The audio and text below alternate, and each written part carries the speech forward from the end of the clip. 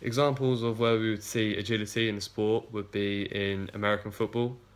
In this, the players need a lot of change in direction and a lot of explosive power. So they would probably do circuit training where they would have drills such as uh, ladder drills to improve their